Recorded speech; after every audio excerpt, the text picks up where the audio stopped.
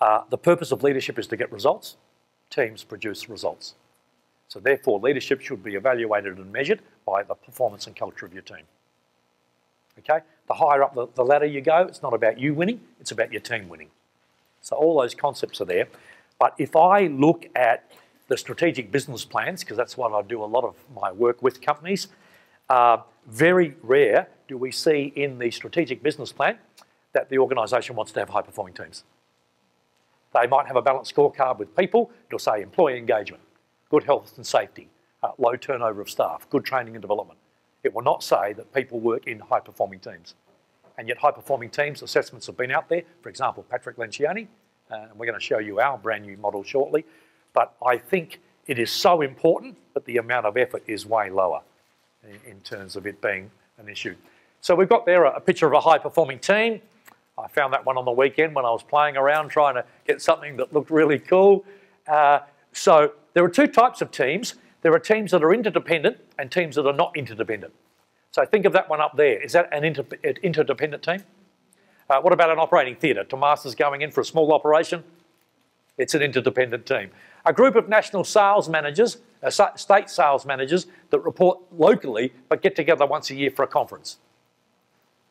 There's no shared goals, it's, it's sharing information. So that's an important distinction you have to make when you're looking at a team. Is it truly an independent team that, that can have shared goals, or is it just a group of meetings and so on? All right, this is Patrick Lencioni. Who's familiar with Patrick Lencioni's work? Look, I'm a great fan of Patrick Lencioni. I've used it a lot. Uh, Jamie and I have introduced these five concepts, and, and we'll quickly get people to do a whiteboard desktop assessment. But remember, it was written as a fable. Does that make sense? Anyone remember it's a fable? It was written about a female CEO that went into a company that was sick and she used these concepts. Um, so we look at how much trust is there in a team. Is the team having difficult conversations and engaging in professional conflict? Do they uh, have timely decision making and effective meetings? Accountability for performance and behaviour by the boss and by peers? And are they in fact an intact team with shared goals and big picture? For those who want to know, 65% of teams pour scorely on accountability. It's like that challenge poor performance that came up in the good managers table. Remember that one? So it's a big issue. 40% of teams lack trust. So I'm just showing you that teams can often go wrong, yes? Even when you get a good team, someone leaves, someone goes, and all of a sudden you might be dysfunctional again. Uh, now, my own view is that Lencioni doesn't have enough around culture in there and about the business side of performance. So you'll see in a moment when I introduce our new model, we've taken that, I think, the extra step. Bob Hogan, we love Bob Hogan. He's a legend. And he got together with one of his colleagues in, in, America, Gordon Curphy. They wrote this book called The Rocket Model. And the rocket model is a metaphor for having high performing teams. All right, so I really liked the work that Curphy and Hogan did. And we then decided to build on it. And uh, Jamie and I did all the IP uh, about 18 months ago, and it's now a new product that's available. Uh, what you do is if you take a management team, those managers can be invited to go online and answer a range of questions from high to low uh, that live in these little clusters or families.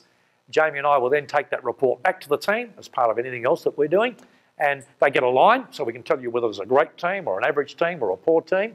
Um, and uh, it's not so much the score, every time we've done it, it's the conversation that then comes out.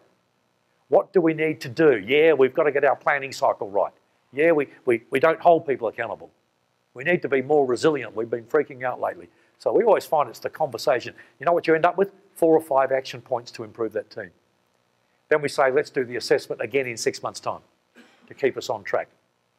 So what our uh, little document does, we measure performance, as in, is there clearly defined strategy? Is innovation encouraged? Are there strong levels of accountability? Uh, what are we like at leading change and going forward? Uh, what are we like at producing results? And then we measure the culture of a team. Does that make sense? What's the culture or behavioural norms in that team? How much trust is there? Do they engage in professional conflict? They go hard on the issues but soft on the people. Meeting effectiveness and making decisions. Emotional intelligence. For the first time ever, in looking at teams and team templates, we've introduced the, the question of the EQ of the team. Do you think that's important? The level of emotional intelligence within a team. And then resilience. And we use the Seligman book, Executive Stamina, If you want more information from PBC, we're the Australian distributor. It simply says uh, that for you to maintain your executive stamina at work and be a high performer, you need to do recovery. Recovery is anything to do with rest and renewal, relaxation, recharging, so you can go back to being the high performer. It's taken from sport, yes? What do high performing teams and individuals do after a big game? Recover, rehydrate, physio, all of that. The book is by the Seligmans, Joshua and Martin Seligman, called Executive Stamina. And uh, we can make copies available to you if anyone wants to talk about that. So, the Seligmans took the principle from sport and said, let's put it into teams. We want teams to be resilient teams. Okay, so, yes? You have strategy and innovation there and results. Isn't there a step in between how you get there? Yeah, execution. What are you thinking? Yep. So we're actually identifying, do you have a strategic planning cycle? Do you have a longer horizon, three, five years, a one-year plan? Is it a balanced scorecard? And that one's driving fresh ideas and thinking, looking for new products and services. And down here, it's, it's about your numbers. How are you tracking on your numbers? Now, if you open up your kit, we have an example of a high-performing team. It's the high-performing team assessment. It's on the right-hand side. We have a copy. And this was a copy of a report that I did in Adelaide last week for a client. And it's the best result we've seen in the six months that we've been using this report. Has everybody got a copy? So we turn the page, and this particular team is a senior team. There's a CEO and uh, 11 other key people in the group. They scored 78% of the points available. The Australian average is 69.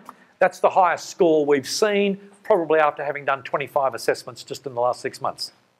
Okay, so we were thrilled to see that result. There were 12 respondents. Rich data, good data. So turn the page. Uh, now, the team score is the highest score, and we rate the items going from top to bottom, and then you've got the Australian average. So the best thing about this company, they have a robust planning in cycle with quarterly reviews. How good is that? Very strong on the discipline of strategy and, and reviews. Uh, two, they plan short term and longer term. Three, they've got a meeting cycle in place. And can you see statistically, they're smashing the norms here, yes? Those benchmarking data. So these things are being done exceptionally well, really rigorously well. Four, they're looking at long-term new opportunities. Five, the strategic priorities are defined and agreed. Six, they've got a reputation for high performance. That one comes from their national organisation and they're consistently number one amongst the states. So that was good too. Um, uh, seven, there's a lot of individual trust within the group. Nine, there's a shared vision of what winning looks like. Ten, when they underperform, they challenge themselves to do better. 11, they consistently deliver very good results. Go across the page, what were their lower scores? But they were still mainly uh, ahead of the Australian averages. Team members take good care of self to avoid stress and burnout. So you get the first hint of what's going on, yes? They're really going hard, they're very strategic, there's a bit of burnout and stress creeping in. So we say, okay, time for the resilience program. Let, let me introduce you to the Seligmans with the executive stamina. Uh, 49, team members assess social situations accurately by observing the interests, feelings and goals of others. That's what we call an SQ question or an EQ question, but if you take it SQ, reading social situations, social awareness, being able to pick up on others, uh, and so on. So, very strong results. Can you see that? In, in particular, some of the fundamentals about how they're running their business. The next page, we simply give you that data uh, broken down. The items ran from 1 to 10, with 10 being high, so this is the group average. Now, if you look at that, it's a fairly consistent set of results, isn't it? They're doing particularly well on strategy and results, pretty good on meeting effectiveness, leading change just a little bit low. So that creates a conversation. Can you see that? People start talking about it. It was all done online. It was confidential. And then we give you the results. We show you the items by the scales. And then go to page nine, we get the written text. Anything that's called PBC, we always go for written text just to give people that opportunity to talk. So two questions, what would improve the culture of the team and what would improve the performance of the team? See those two distinctions, distinctions again? And people can write as much as they want. This is a real one. I've de-identified the company's name, but this is totally a real report with all the comments there. And you can see how good they are because three or four people talk about, hey, it's hard to improve a great culture. We think we're doing really well, it feels good. So do you think these guys feel engaged? Do you think they're working in the business and on the business? You know, potentially creating good engagement with their teams? Now, um, that's the team report. And like I said, a management team will go online, answer those questions, and they could be doing Hogan's, they could be doing 360s, EQs. That's another assessment, yes? It's another assessment which just keeps them talking, reflecting on their strengths and opportunities. It goes really well with all the Hogan products, and I'm going to talk about that in a moment.